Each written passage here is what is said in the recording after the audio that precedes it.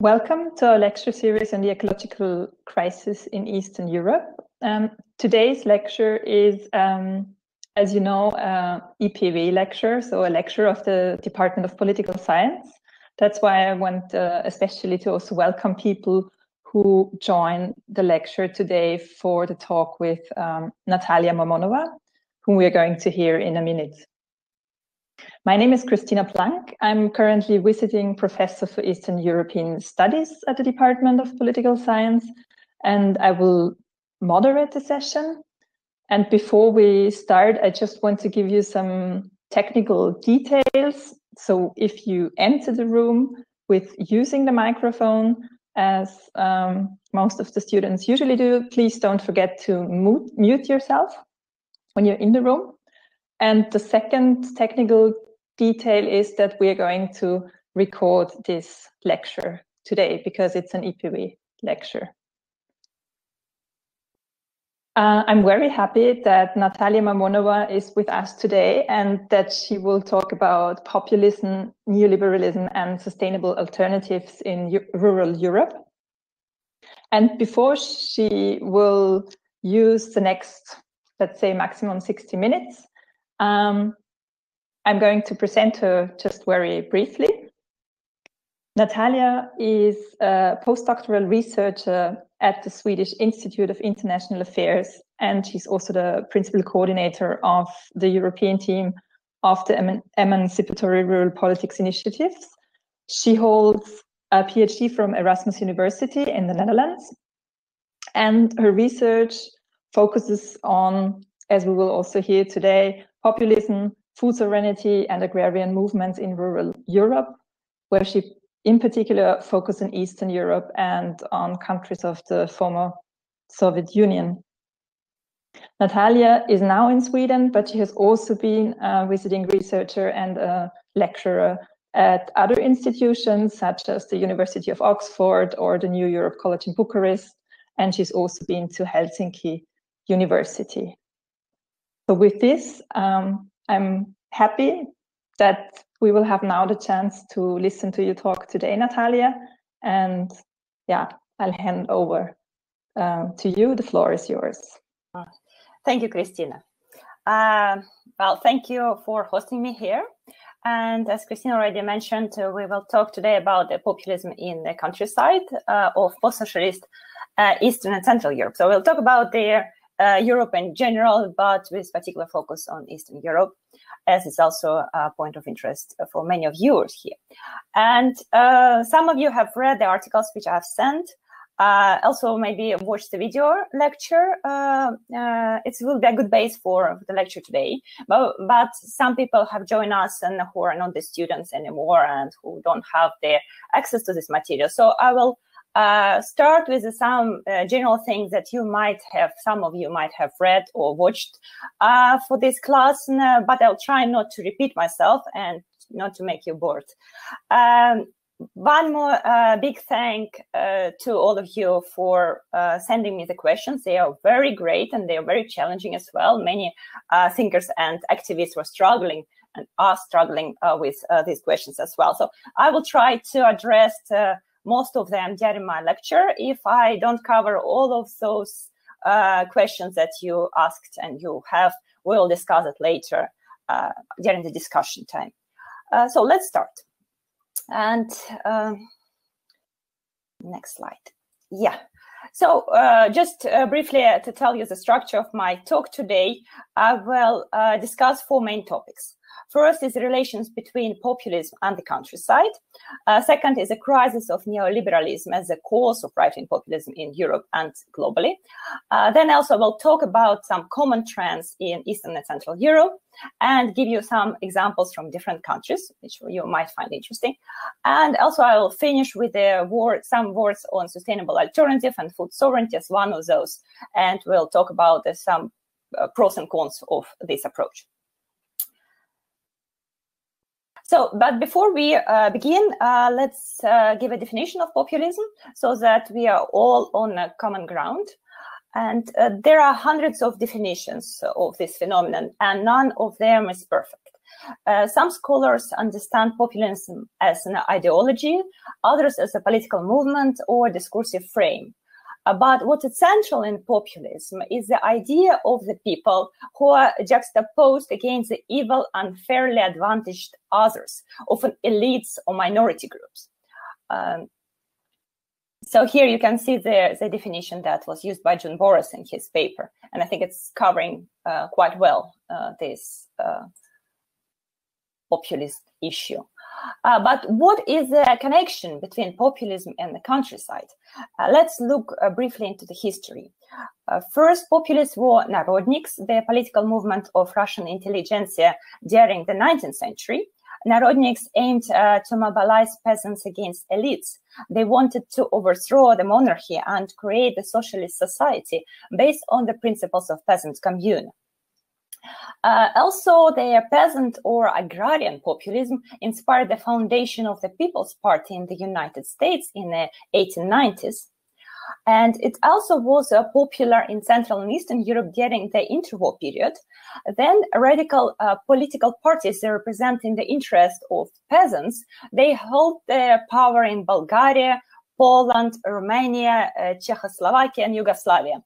Uh, this period was known as the Green Rising and was characterized by the ideological and political struggles between fascism, communism, and capitalism.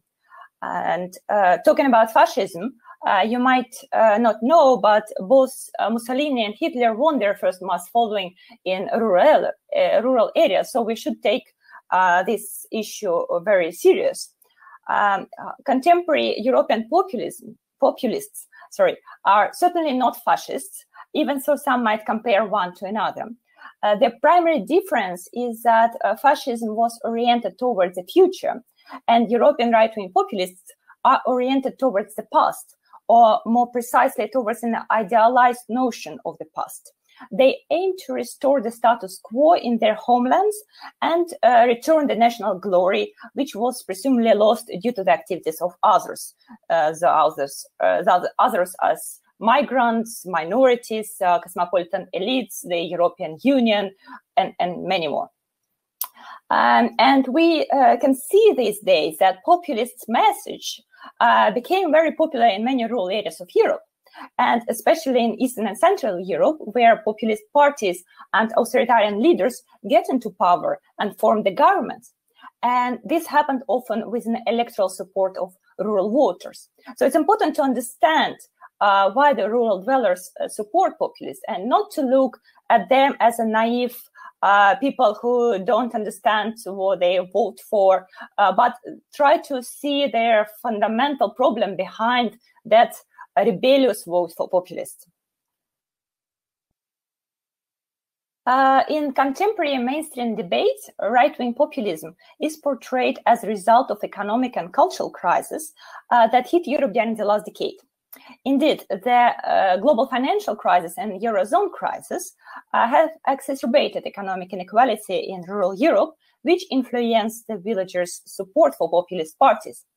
Uh, in the same way, the fears of losing cultural identity due to globalization, multiculturalism, and the refugee crisis made many people vote for populists.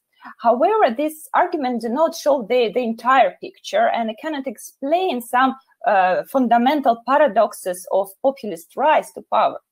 And in the next slide, you can see those paradoxes. Here it is. Uh, so look at these three maps. On their first map, you uh, see the electoral support for right-wing parties. The uh, dark blue means the highest support. The second map, map shows the amount of asylum seekers in 2018. Uh, likewise, the darker color is the largest share. And in the third map, uh, you can see the GDP growth, and the blue color means uh, negative, and red means positive growth uh, you can see that uh, those countries that have the least migrants and are better off have the strongest support for right-wing populists. So if we want to understand the spread of right-wing populism, we need to go beyond the dichotomy between cultural and economic factors and find a deeper systematic trigger. I'm trying to change. Yes. Um, So uh, together with my colleagues from uh, Emancipatory Rural Politics Initiative, we've done a research on right-wing populism in rural Europe.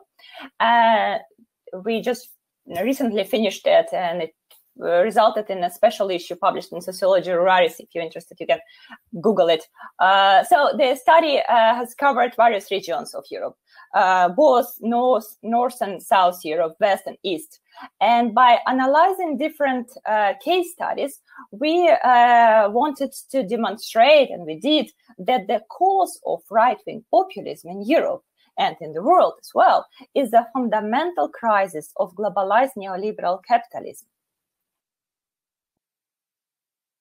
the yes, um, yeah, so uh, neoliberal capitalism has fundamentally transformed the rural Europe, right, uh, in terms of agricultural production and rural lifestyle.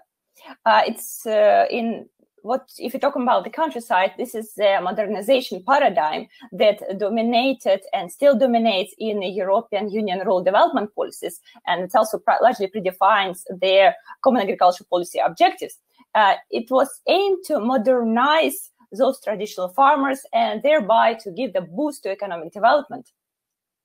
Um, it did bring some positive results, but at the same time, it resulted in expansion of a large uh, industrial agribusiness at the expense of small-scale family farmers. And also it led to the emergence of the so-called food empires that spread its monopolistic power over the entire food chain let me show you a few diagrams. Um, some of them you might have seen already in a video lecture, but let's let's go through them very briefly. Here, this there's a uh, land concentration in Europe, and uh, you can see that three percent of European farms now in Western Europe now own um, fifty-two percent of agricultural land, and also what you see also in the uh, eastern uh, part of the Europe is about 75% of small farms are left with just 11% of land.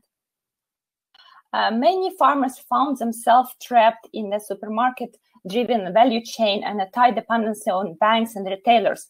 They either have to expand and become industrial, industrial food producers, or unfortunately, they get bankrupt and disappear the European Union Common Agricultural Policy, which I already mentioned, that is based on modernization paradigm, is designed to support various food producers, both large and small.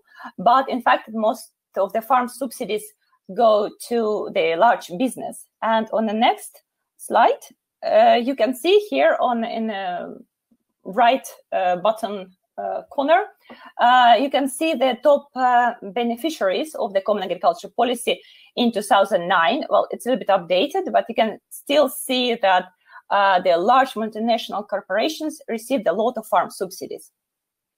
In result, uh, many uh, small-scale food producers become marginalized and disappeared. Uh, see the other diagram uh, here that the data uh, taken from European Commission for Agriculture and Rural Development report.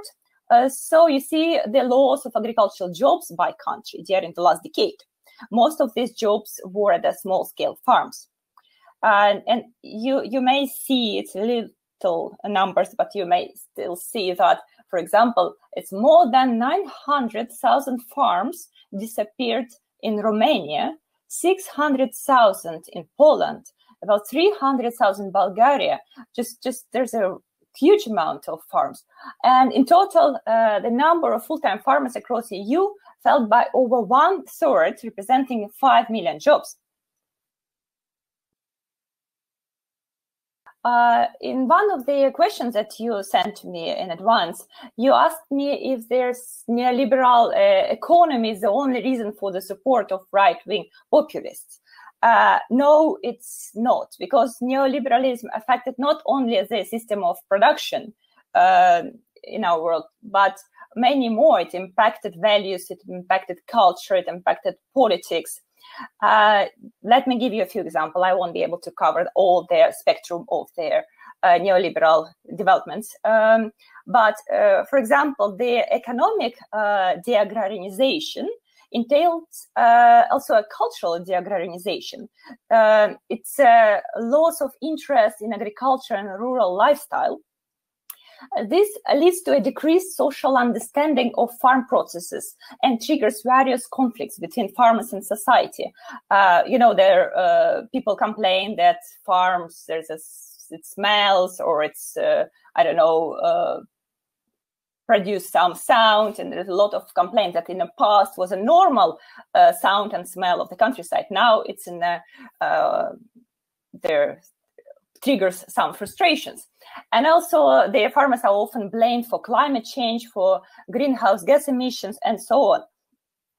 So that's also rise there some social conflicts related to lifestyle and in this case also environmental also, the uh, neoliberal ideology is based on three principles individualism, competition, and consumption. And these principles change the countryside significantly. The uh, individualization of society limits the propensity for collective uh, action. And, uh, you know, in order to uh, represent the interests of rural uh, communities, you need to have the strong social, civil society, right? So, and if people can't uh, unite, it's a big problem. So, the same uh, impact has a competition uh, that uh, prevents any collective action.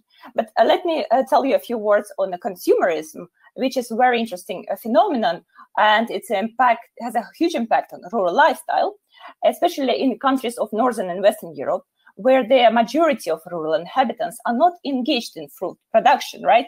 So it's even called sort of consumption uh, countryside. Some authors argue that the consumerism contributes to the success of right wing populists in Europe. In consumerist societies, uh, economic capital is important for maintaining social identities, while personal uh, success or failure are measured in employment and welfare benefits. Uh, so, in a crisis or in, in, a worsening economic condition, when people are not able to live up to the silent social identities and their con- uh, uh, constructed values, they experience low self-esteem, low self-esteem, esteem, esteem, esteem, sorry, their shame and insecurity. Uh, these negative emotions are channeled into the anger and resentment towards perceived enemies. And in this case, the migrants, minorities, elites, and elected bureaucrats in Brussels, and so on. So uh, I just want to uh, illustrate to you that there's much more than just economic impact of neoliberalism.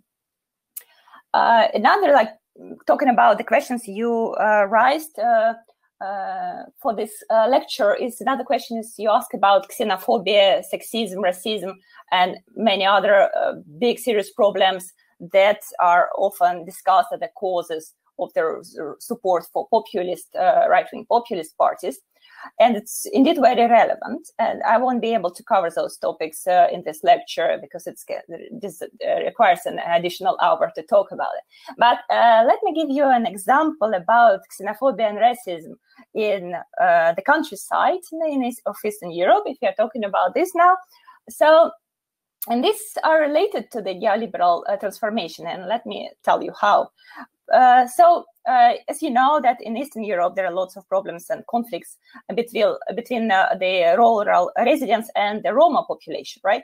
So uh, in our uh, collective research that we have done, I was talking about. so we had a one case study about the anti-Roma sentiments in rural town in Slovakia. It was written by Daniel Skobla and Richard Filchak. And so, did you know that in communist time, Roma people were commonly employed as unskilled industrial workers? Um, but with the development of uh, uh, neoliberalism, many uh, industrial rural regions became the sort of losers of the globalization because the factories and manufacturers were shut down or moved to another countries. Uh, so, in result, many low-wage, low-skilled workers, uh, such as Roma people, yeah, became uh, chronically unemployed and their housing and sanitary conditions deteriorated. And this led to the further stigmatization and outcasting of these uh, minority groups. And this is also can be linked to, in some way, more, maybe not directly, but indirectly to this neoliberal development. Uh-huh. So, uh, the same uh, way we are talking about neoliberalism, we can't talk we can't uh, ignore the crisis of representative democracy that uh, is directly linked to it. And it's and again, it's not about economy; it's about politics. Um, politics became very complex and not transparent. Uh, the mainstream centrist parties, those that determine European politics since the end of the Cold War, they created a political discourse that neoliberal globalization is the only way forward. And there's no discussion about any possible alternatives. And so, in such context, many people have come to believe that their government represents the interest of markets and transnational and transnational uh, corporations, while uh, citizens' voice is unheard uh, in this regard. So this dissatisfaction with mainstream politics is very strong in the countryside, and it's not only because the politics are intransparent and there's no mainstream debates about neoliberalism, but it's also that um, there are some more rural processes uh, that lead to this dissatisfaction. Uh, for example, and this was one of your questions as well, that many political uh, parties uh, and leaders, they don't have an, any ideas what's going in the countryside. They are uh, born in cities, they rise in cities, they don't know the city, the rural problems and everyday life. So they, uh, even if they address urban, uh, rural problems, they don't even understand it uh, or experience it themselves. So it's very difficult to create the connection between politi- political leaders and the villagers. Uh, and also, there's not so many mainstream politicians are appeal to villagers because uh, rural population is commonly perceived as apolitical and not very el- reliable electoral group. And in addition to all this, uh, the 2008 economic crisis resulted in that in many rural municipalities, uh, there is a decrease in economic and political autonomy and the reduction of number of uh, local self-government. And this also uh, contributed to the situation when people feel that uh, they are not able to influence their decision making at the, any level of the government and that their opinion is ignored. But uh, so now let's uh, talk a little bit more specific about the Eastern European case. Yes. Um, many scholars uh, link the rise of right wing populism in post socialist Europe to the problematic transition from socialism to capitalism. The transition was uh, accompanied by serious economic and political uh, turbulences in most of the countries.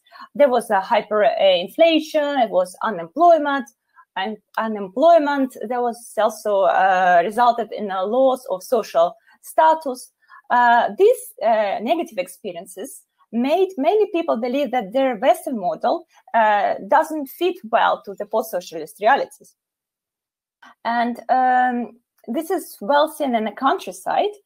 After collapse of the uh, communism uh, in many countries, uh, the countries initiated the new government initiated land reforms to distribute former collective land to rural population for private farming. Uh, you probably know this this uh, transformation period, and it was idea to create the Western time of type of family farming in Eastern Europe. Uh, yet there.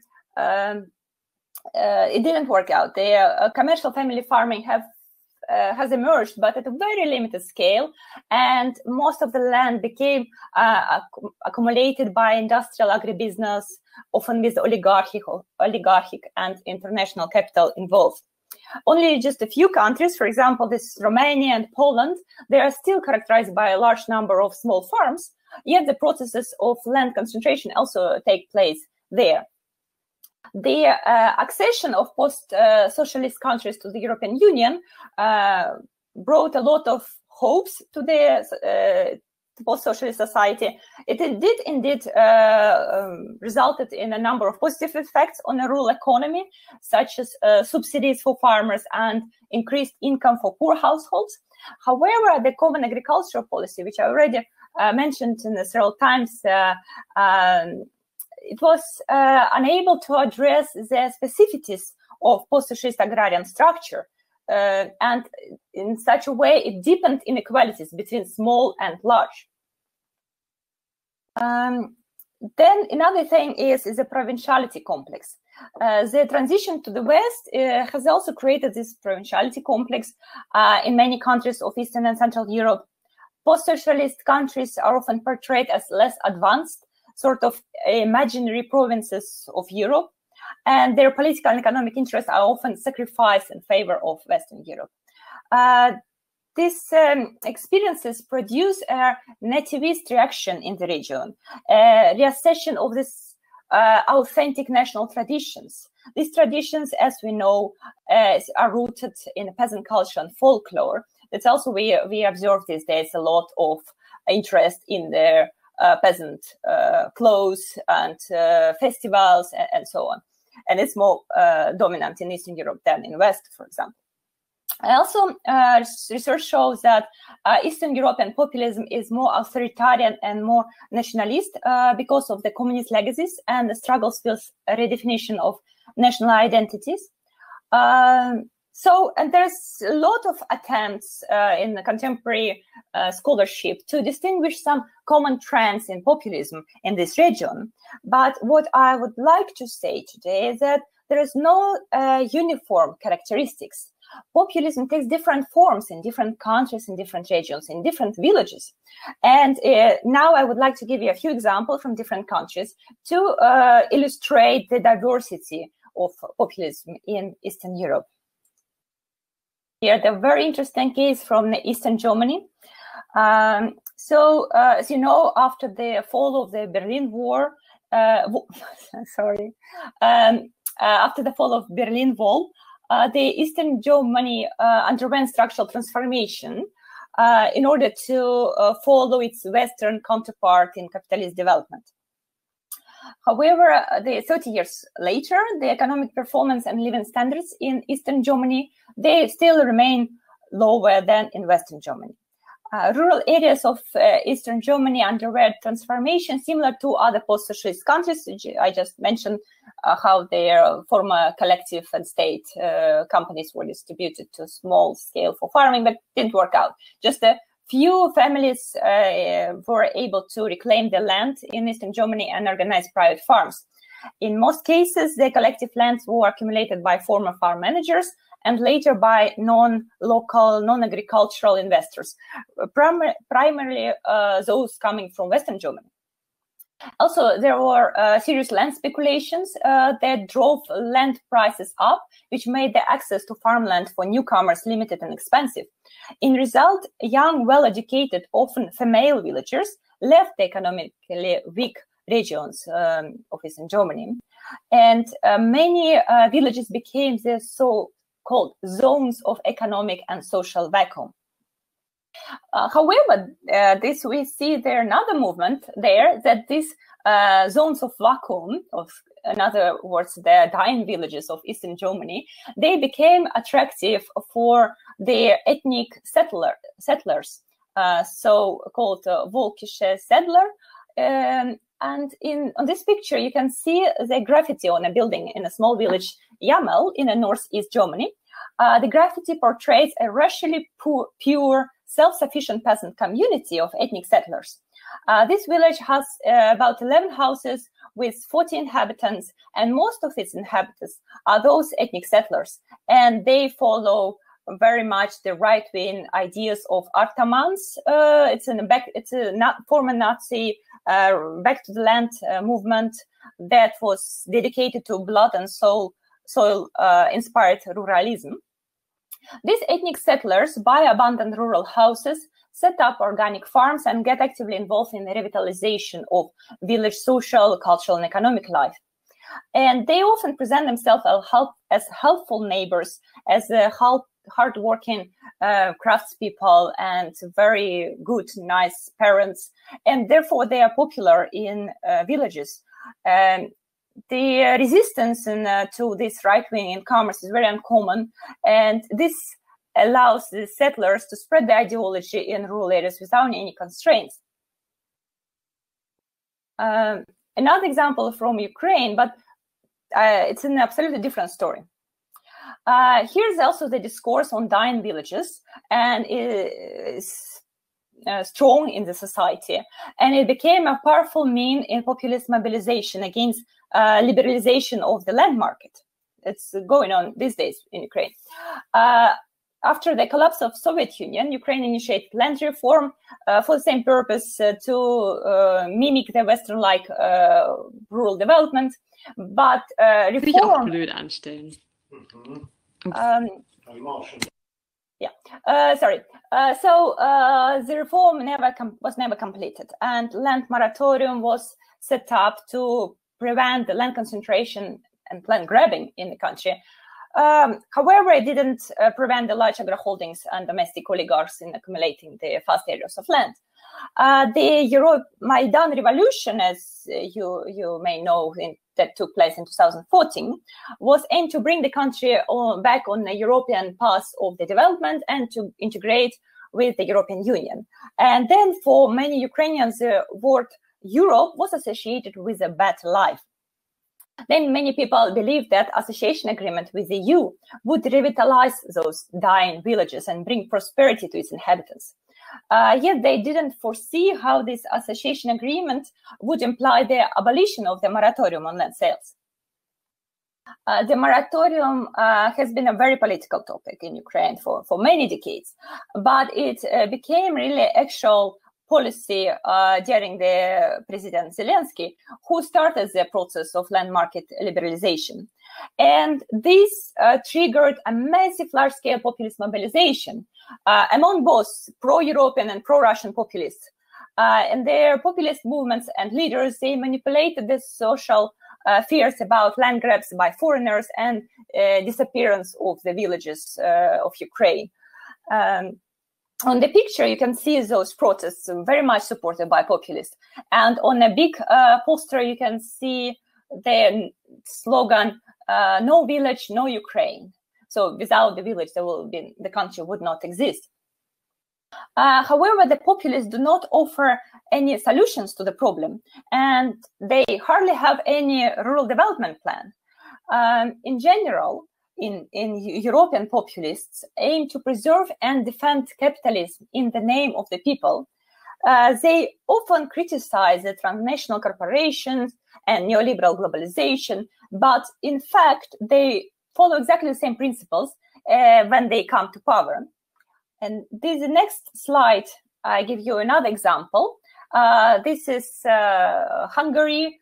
Um, in his uh, um, election campaigns, Viktor Orban expressed many times his support for family farming.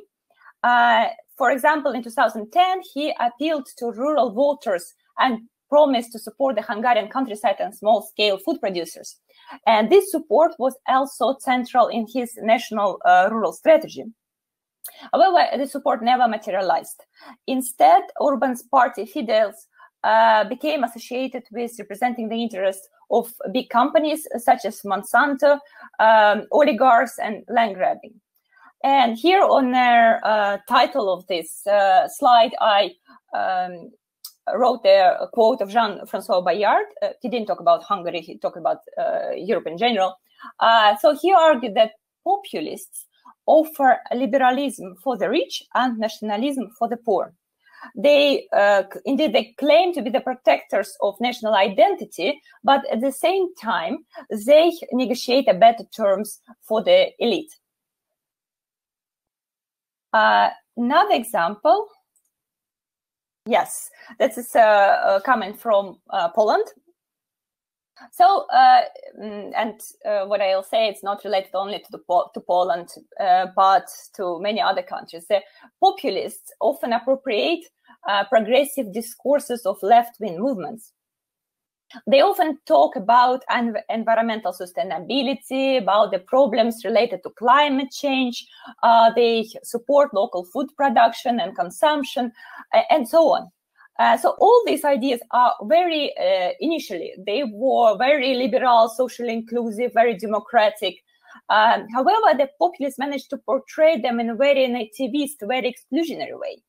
And here, uh, talking about the climate change, I put the picture of uh, uh, PiS politician Izabela Kloc, who announces the establishment of the National Center for Climate Change Research as an opposition to the European European Union climate policy that uh, so she argued actually uh, ruined their environment and the climate in many parts of Poland, and uh, we initiated a research on uh, in that area to look whether it's really true or not. And there's indeed serious environmental problems, um, but uh, how it's related to their climate policy of EU, it's not really clear. So anyway, that's here I wanted to show that uh, the populists are focused on an, on the problems within their national borders, but uh, usually in opposition to the global processes and the uh, like pan-European institutions such as uh, European Union uh, climate policy.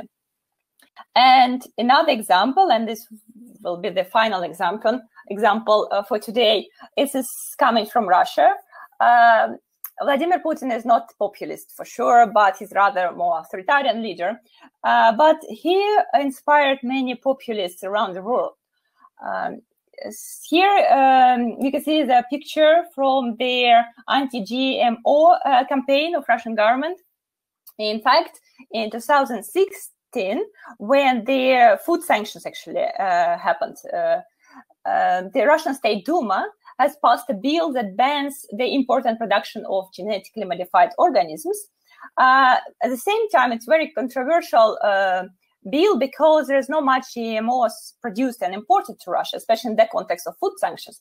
Uh, so it's uh, rather populist policy to gain support among uh, urban consumers uh, and to show that the state cares about the health of its citizens. It also was at the same time there were uh, banning and closure of several McDonald's uh, in country.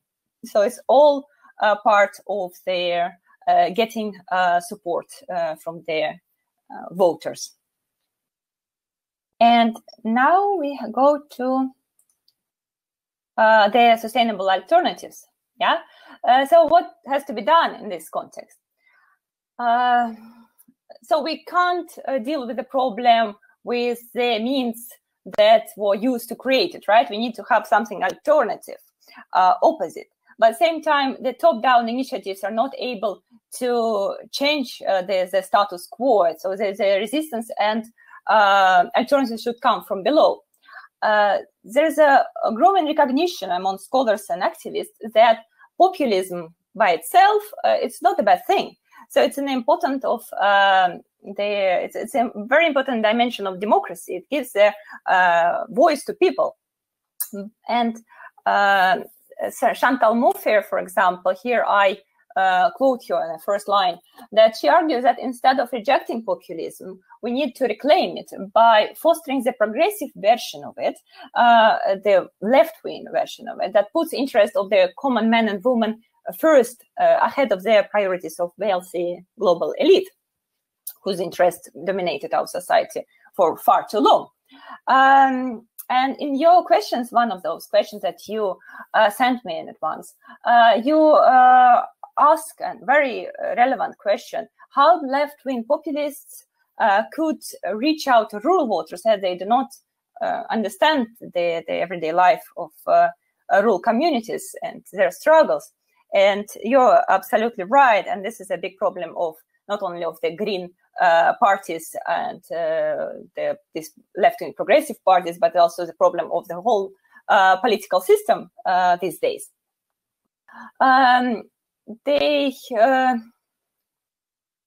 uh, there there are several papers in our project that were looking at their um, attempts of left-wing uh, progressive green movements to and parties particularly to reach out and to gain support in the countryside. And indeed what you write in your questions it's uh, also the true that it's mostly popular among progressive middle class urban consumers rather than uh, rural dwellers.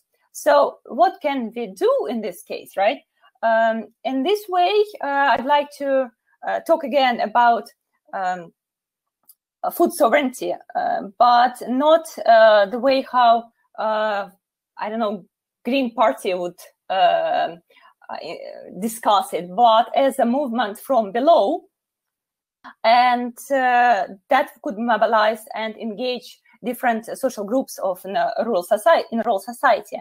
And as you know it's in uh, food sovereignty is um, uh, right uh, to the people's health and culturally appropriate food and the right to define their own food systems.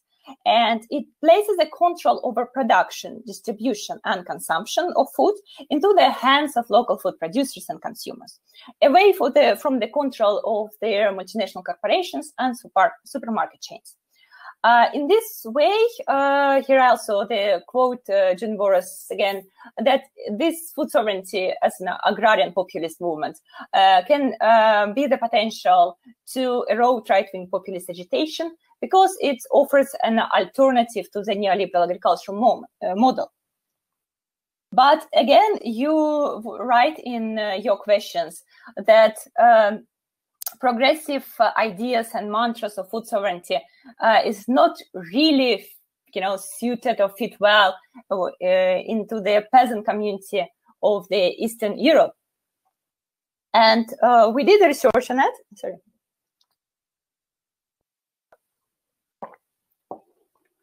So uh, indeed the legacies of communism uh, influence the societal attitude towards capitalism and socialism, and what uh, makes the adoption of this food sovereignty uh, anti-capitalist and pro-socialist ideology is quite problematic.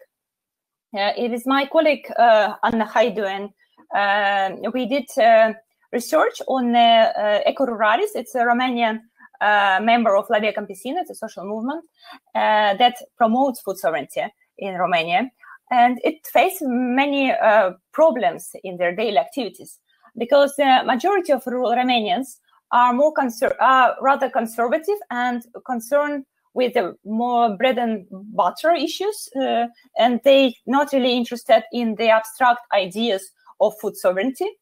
Uh, we also found that the whole concept of food sovereignty is rather a little bit alien or foreign um, in the countryside of uh, post-socialist countryside and it's perceived as uh, strange and not from there. But what's interesting, uh, we also found uh, another um, sustainable practices that are similar to food sovereignty, uh, but they were practiced for centuries uh, without thinking about the, the, alternative movement. For example, we saw these processes of propagation and distribution of local seed varieties, and this is what uh, is doing these days, um, and it uh, attracts uh, many people to join the movement. And this seeds distribution uh, is organized at the local nested markets and take into account the low income of rural population. It's similar to food sovereignty, but it's deeply rooted in the traditions of the rural communities. And also, uh, as you know, if you have the relatives in Eastern Europe, uh, you know that people there uh, grow the healthy and culturally appropriate food on their household plots, but without um, attracting much importance to this, uh, uh, attaching much importance to this process. And see, it's just um, the way how it was used to be and still goes on. And they don't engage in any political discourses and mobilization around these issues. And in the paper that I have sent you to read on Ukraine, I actually was discussing there how to transform this quiet form of food sovereignty, the, the food sovereignty that is not associated with any political discourse and mobilization, into a more loud uh, form uh, of food sovereignty. And in Ukrainian case, we see that the, the rising patriotism and the hopes for better European future mobilized many small-scale uh, producers to talk about their food production in a positive way and to talk it as an alternative to neoliberal large-scale agricultural uh, production. So it's very important step forward, and we should build on it and to see how the more culturally appropriate practices could fit and could uh, mobilize people for uh, collective action. And another problem that you also uh, mentioned in your question is there a mismatch between the progressive ideas of urban consumers and the uh, conservative position of many farmers in Eastern uh, and Central Europe. And um, indeed, it's a big problem. And uh, there's a serious and very problematic this rural-urban divide in, in Europe, which limits coalitions between farmers and consumer movements. Uh, while urban activists they focus on sustainability and alternative food no, food networks, you know all these progressive things. Uh, European farmers are more concerned with preserving their way of life and traditions and uh, getting their profits, right?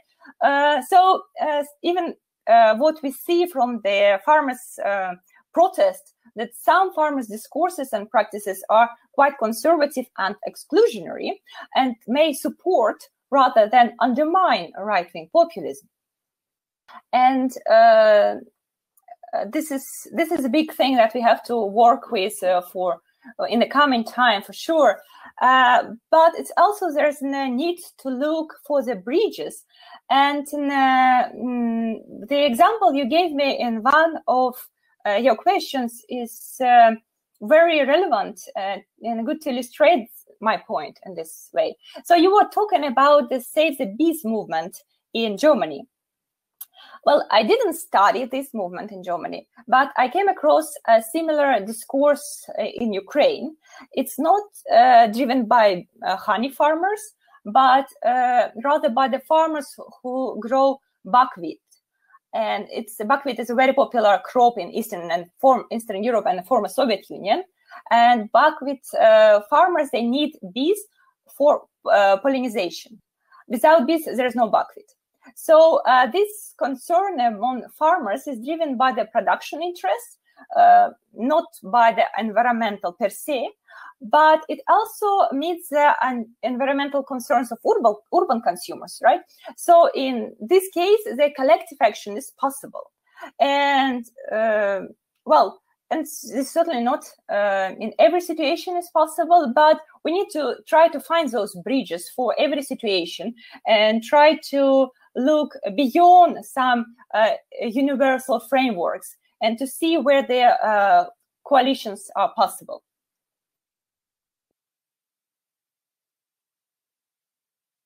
And this is uh, coming to my final um, um subtopic uh, for this lecture is the uh, COVID pandemic. Um, I won't talk much about that because I we didn't do much research on that. It's still going on issue, and we just observe and see how things uh, develop. But what uh, pandemic has exposed and showed to all of us beyond those activists and scholars is that critical inequalities and unsustainability of the neoliberal agricultural model uh, it was especially visible in the beginning of the crisis when supermarket shelves were empty, uh, but at the same time, farmers had to destroy tons of fresh food because they were not able to, to sell them. And the European Union um, government's uh, attempts to guarantee the food supply largely resulted in supporting the global agribusiness and supermarket chains, while the local farmers' markets were forced to close. The pandemic also um, highlighted the structural inequalities uh, generated by the neoliberal regime of labor market regulations. And uh, you probably came across the news about agricultural workers, uh, both seasonal migrant workers and also those who work in the meat factories, for example. They are the most vulnerable to the contracting the disease and there's a lot of uh, scandals uh, were revealed by the journalists that they uh, those responsible for the production do not meet their uh, social distance requirements or you know people coming to work and, uh, while they sick and many many other things. So i think that you all heard about that. But uh, what um, the pandemic demonstrated also not only the, the bad things right but also good things that there are uh, and there are still uh, uh, there were and there are there territori- territorially embedded food systems that are not structurally dependent on global supply chains and that are resilient that are sustainable and they, they could offer the alternatives to a neoliberal agriculture model. And they work uh, when the government uh, priced its arms and said we don't know what to do. Those uh, button-up initiatives took over in many cases and uh, supplied the food uh, to um, consumers, right? So, um, uh, but at the same time, uh, you know, this I would like to mention the question. One of those questions you asked So you said that the food, the highly high quality food, uh, are not affordable for poor consumers in times of crisis. And indeed, absolutely, you're absolutely right that the poor people tend to choose the cheap food from large supermarket chains, chains and processed food uh, rather than going to the organic shop and buy uh, healthy and responsible food. But uh, food shouldn't be expensive. Um, the, if we talk about certified organic food that is sold in bioecological urban boutiques, it's not food sovereignty. On contrary, those uh, only rich and large-scale farmers are able to afford this expensive certification. And such certification schemes actually work as an instrument of exclusion, uh, mostly those little and medium farms from the food supply chain. Uh, but uh, the question is, what makes food expensive, good quality food expensive? Uh, it's a long supply chain uh, where there's now various intermediaries and supermarkets earn the most of the money. Uh, so the goal of food sovereignty movement is to make the chain as short as possible, to bring consumers and producers together as close as possible. And uh, during the corona crisis virus, uh, the coronavirus crisis, we uh, witnessed two main developments. First is that the government continued to support in supermarkets and industrial agribusiness, but at the same time, there's an uh, um, emergence uh, and strengthening of the alternative networks of food distribution. This is the Facebook groups, uh, for example. There's also uh, food boxes to deliver that to homes as an initiative for small scale farmers. And there's a food sharing and I think this is interesting uh, activity in times of uh, the pandemic. Uh, here I put a picture uh, taken by a friend of mine in a small rural town of, uh, of in the Kaliningrad uh, Oblast. It's in the northwest of Russia, and this it's written there. You take it for free. So, um, and it's not only in Russia; it's many other countries of Eastern Europe where this food sharing tradition is is common and it exists for, for long, for many years. And this is the way how you do the food sharing uh, in a responsible way when you follow the social distancing norms. And many, indeed, many uh, small scale and medium scale farmers, they left their su- surplus produce outside their farms or in the streets for people to take away. And this is interesting to see uh, this the final slide, and that what I would like to uh, tell you in the end of this lecture is um, what uh, what can you and me do as in the consumers to help to transform our food system into a more sustainable uh, system. So first is uh, reduce uh, food waste and shift uh, our diet towards a more local, ecological, and seasonal food. Uh, so second is when uh, we prepare the meals at home, we should use uh, raw and fresh ingredients rather than purchasing this uh, uh, convenient but uh, packaging heavy, highly processed, pre-made food. then also, all of us should get our hands dirty and appreciate how difficult, but also how rewarding it is to grow food. And there's already a, a big and vibrant urban agriculture movement, uh, and uh, the cities should support this movement and uh, help to amplify it further. And also, we need to do our best as consumers to get in touch and get connected directly with local farmers and share with them the risks and rewards of growing food through community supported agriculture. Um, so let's make sure that any recovery plan also includes meaningful investment for such systems to make them even more mainstream. Let's buy more food directly from farmers who are already uh, transitioning to a better food system. So do uh, something you know the change starts from uh, change starts with you and let's uh, help the system to get better so here i would like to stop and i think i did my time limit well Um, and I look forward to your questions. Thank you.